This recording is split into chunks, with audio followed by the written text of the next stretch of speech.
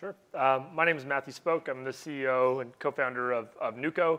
Uh, we're a Toronto-based um, uh, tech company, uh, Java implementation part of the EEA standard. Uh, so I also sit on the board with Sandra, um, and we're really excited to be part of this, uh, this standard setting as it moves forward. Great. And uh, my name is York Rhodes, and I'm actually on my second tour at Microsoft, and now 100% of my time is focused on blockchain. Um, we are a founding member of the Enterprise Ethereum Alliance.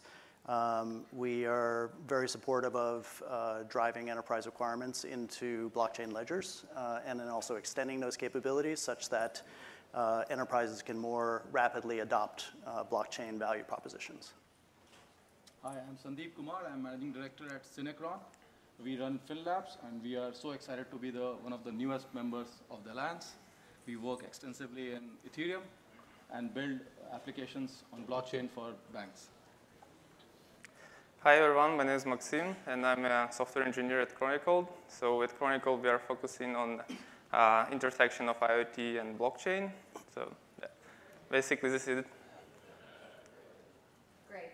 Uh, this panel, we're really going to focus on giving you a working group update. One of the critical things that we really want to emphasize about EEA is that this is not about a top-down uh, structure. Yes, there is a board, but the board is there really to do uh, a lot of the administrative and sort of boring stuff to get things moving along in, in such a large organization. The working groups themselves are the real heart and engine of um, advancements and making sure that we are as collaborative and, um, you know, we are able to do meet our goals. Um, so what I want Matt to do, if he would take the time, is to give us a bit of background on what is going on with the membership and a little bit of marketing. Great, yeah. Um, so you, you must have seen the, the CoinDesk announcement this morning, and obviously Julio mentioned it earlier. Um, so we've, we've just gone through onboarding 86 new members into the Alliance. It's been a very uh, time-consuming process to go through the number of applications. I think uh, as it stands today, we still have uh, a few hundred members, kind of uh, potential members waiting on the waiting list that have to be processed. So obviously at the membership level, um, it's a matter of us screening these companies. Um, very basically, we've structured the alliance around very simple membership criteria. Um, those being that you are uh, interested in Ethereum and its use in the enterprise domain. Is my microphone going on and off? Can yeah? Okay. Um, is this better? I'm getting signals from the front row. Okay. Um, if it goes off, I'll grab the mic. Um, so I think it went off again. Okay. Why don't I take the microphone? Um, all right. That's better. So maybe I'll, I'll, step back for a sec. Um, so we, we just onboarded 86 new members. We're very excited about that. It was an extremely time-consuming process to get the process going. You'll, you'll have noticed today that the Enterprise Ethereum Alliance uh, new website is live where we can start processing member applications significantly more efficiently. Our membership committee uh, is chaired by uh, Jeremy Miller uh, of ConsenSys. Uh, the process that the membership committee has been going through is essentially applying applicants to a very simple list of criteria, uh, meaning that you're interested in the use of Ethereum-based technologies in enterprise. So very, very loose. Um, and short of that, it's pretty much an open invitation for anybody to join, whether you're an individual or a large enterprise. Uh, there is a membership fee structure that is published on our website. Um, we'd be happy to kind of field any questions that you have. Anybody that's kind of sitting up here that's a member uh, can obviously answer any questions. So that's been the process that we've been going through on the membership side. And now the technology working group, as you can imagine, is critical to everything we're going to be doing. And so York is going to spend a few minutes talking about the latest update on the technology working group. So I think it's also uh, important to note how we launched. Um, we actually launched with a reference implementation from Quorum um, which was contributed by JP Morgan. That was a very pragmatic decision that said, hey, we actually have something that looks good. So we should actually bring that uh, to bear uh, back when we launched in the end of February. Um, the new version of that, as Julio mentioned earlier, is actually launching this week. And that will allow multi-node deployment across enterprises um, so that you can actually effectively set up a quorum testnet very easily through a, essentially what we call a one-click uh, deployment, but it's a one-click plus some parameters. Um, and it allows you to do all the things that you'd expect to do successfully to get an enterprise implementation with multiple business partners up and running, such as setting up VPNs and things like that um, in, in, a very seamless way. Um, this reduces your time to market, therefore reduces your time to value. Um, so you can start to focus on how do we add value in terms of applications on top of this implementation. That general thesis is really the whole thesis behind enterprise Ethereum. How do we actually reduce time to value in a, in a way that actually creates what I would call standardized deployment frameworks or reference architectures such that everyone is not trying to achieve the same sort of mid and end goal by uh, stripping out technologies that otherwise would have existed, say, in a public Ethereum implementation. Um, this work, when we start to think about enterprise, um, you obviously you think about deployment models, as I just mentioned, um, which is one of the reasons why we're launching this next rev of the Quorum template on Azure. Um, but you also think about things like uh, instrumentation and how do you actually uh, look at the heartbeat and the life of a network and all of the objects in that network such that you can have reliability and know that that network is performing as it should be performing in order to run your business processes on that. So we're doing a lot of work at the instrumentation layer from a specifications perspective to say, you know, you need to be able to do things like heartbeats and, and uh, node distance and all kinds of you know, very sort of a list of about 20 different technical things that allow you to have the same type of enterprise managerial oversight that you would on any other enterprise application. So this is a pretty important aspect um, of any enterprise application, and therefore we're driving that into the reference architecture and specifications in the working group. And then we obviously look at how do we advance um, the modularity uh, of the solution such that you can swap out um, particular components, like a consensus algorithm, for example. Um, so it's one of the primary focuses in, in, the working group initially is having swappable consensus. Um, this helps you to drive towards very modular components, and we just picked consensus because it's a fairly well-known uh, example of something that's been swapped out before. Um, and allows you then to create defined uh, APIs essentially between layers of the, of the stack, which gets you modularity that you want, which then also starts to get you the types of scale that you want to uh, look at in terms of, you know, in terms of a, an enterprise implementation. Um, scalability and performance obviously varies across use cases, um, but measuring and understanding what is a benchmark is really important in any enterprise context so that you can understand if I stand up these types of VMs, uh, this is the type of performance that I should expect. If I'm not seeing that performance based on the instrumentation, then there's something wrong because I'm not hitting the benchmark. So I know I need to go back and look at you know, other aspects of, of my network. So it's really focused on how do you sort of get at uh, an understanding of operating this environment um, and not have to be you know, sort of pinging things and looking at things at the command line level. Well, I- maybe I'll, I'll just add, is this on? Both of my microphones aren't working. Um, They don't, nobody wants to hear me talk. Uh, Maybe I'll just add, you know, the overlap between the, the types of members that we're attracting into the EEA and the work that's happening at the technical working group, I think really highlights one of the reasons that this group came together. And it was that there was, especially in the Ethereum space, there was a lot of people competing around standards. Um, and there was you know different implementation and different forks and different people doing different things and building their own consensus algorithms. And what I think we realized as a group is that there was a lot of reinventing the wheel going on among different vendors um, and requirements of the actual enterprises that needed this technology was almost secondary to the fact that everybody wanted their standard to be the standard. Um, so what we're enabling here is if you look at that list of members, not only among the large enterprises involved in the EA, but also among the tech vendors involved in the EA, there are competitors um, in this group. And, and the reason that we think this is so powerful is allows us to kind of agree on a certain set of parameters and, and architectural decisions and then compete on implementation rather than compete on standards.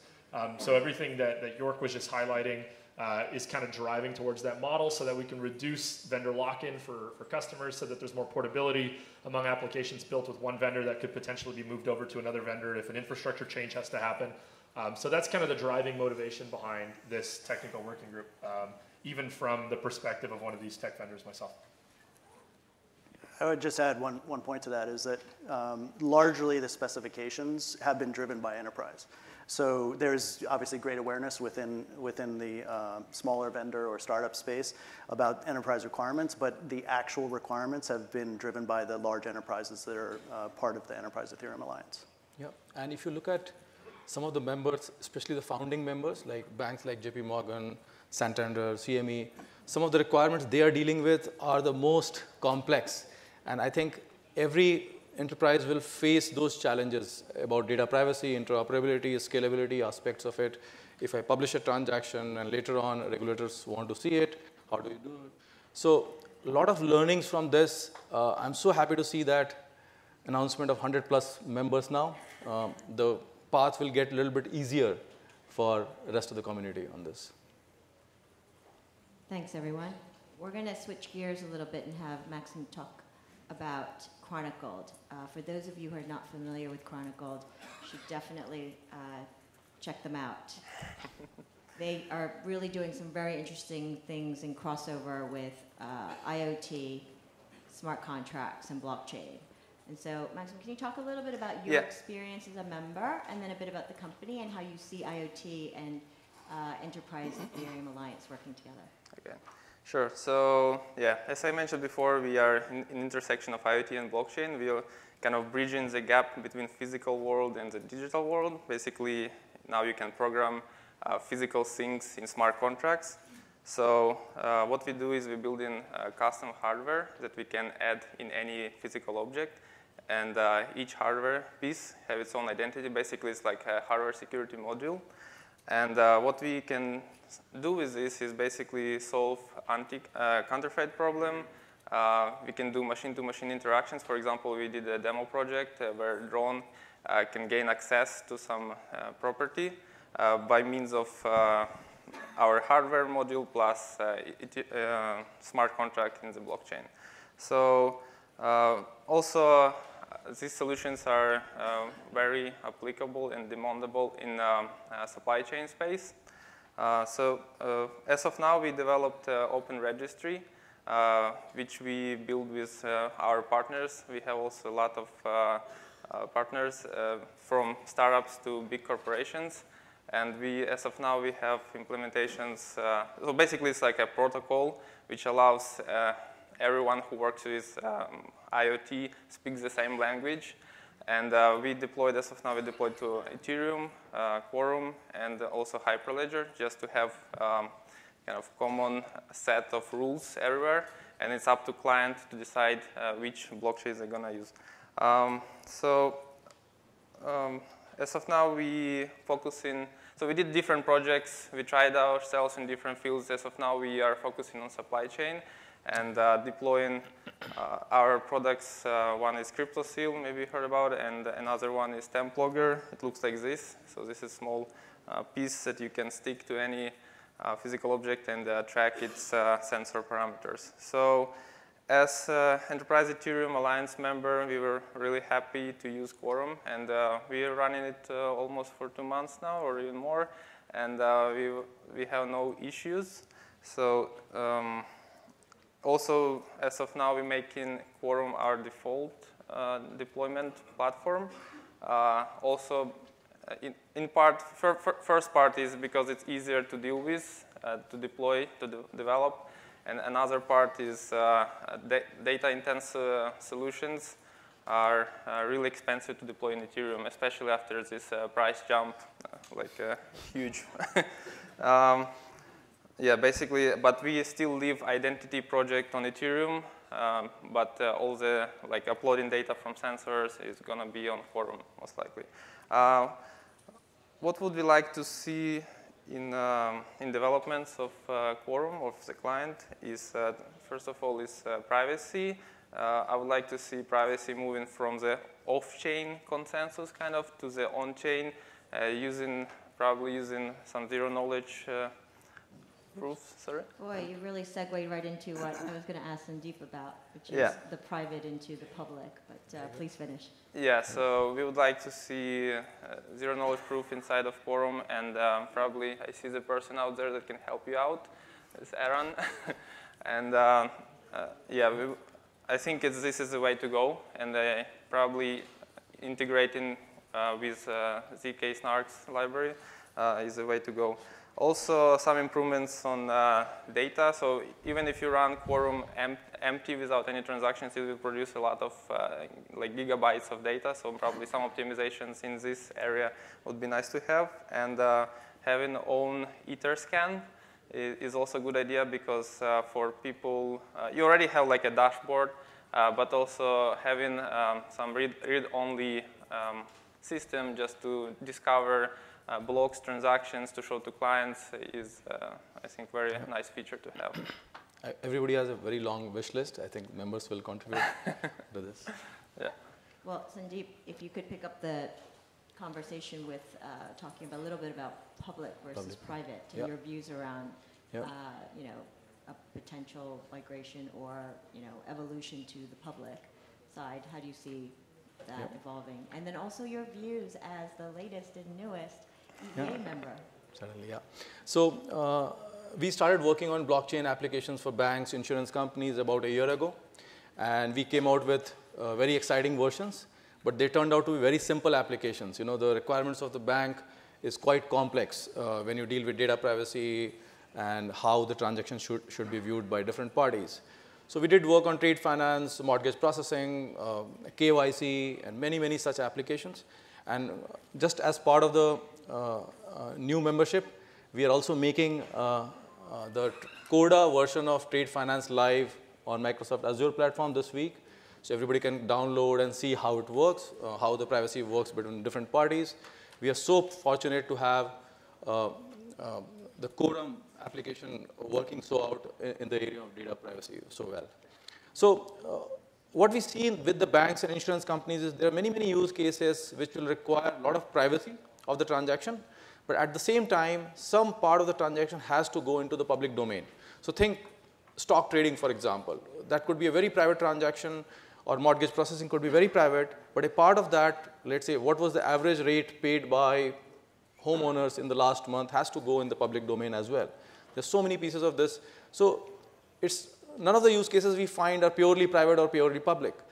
So with the base Ethereum, uh, we were finding this very hard to implement a public come private or private come public type of use case. And then when we see the quorum releases, when we see the quorum roadmap, that makes our job so much easier. Otherwise, we were writing a lot of smart contracts to achieve and ending up with huge amounts of code to make this happen. Now, using many, many quorum constructs, uh, we can uh, achieve this very, very beautifully in mortgage processing. KYC is a big example. A lot of your customers will, uh, will have certain public identity. A lot of this data will be private. So uh, Quorum, having a platform like Quorum can combine these two things and deliver uh, your application onto this. That's actually an important point about the roadmap, and it is to align with public Ethereum and stay close enough to public Ethereum such that you can actually have a hybrid, very easily have a hybrid environment where you can make decisions about which part of your data is actually exposed publicly and which is kept in a private environment. If you think about doing this today in a, in a blockchain context, it, it's actually quite complex. Um, so if we can align the roadmaps together, which is really the goal of the Enterprise Ethereum Alliance, is to stay closely aligned to public Ethereum, then we actually get at least to a place where the playing field is somewhat level. And then on top of that, as we have new developments and uh, discoveries and, and implementations, we can actually contribute those back into public Ethereum so that public Ethereum can advance as well in terms of enterprise requirements. Great, thanks, guys. Um, I'm going to change tact a little bit and go back to sort of the membership working group. Uh, we've got over 100 members now. EEA announced at the end of February. Do we run into the danger of being so inclusive that we get so big that it becomes untenable? Matt, do you have any thoughts around that?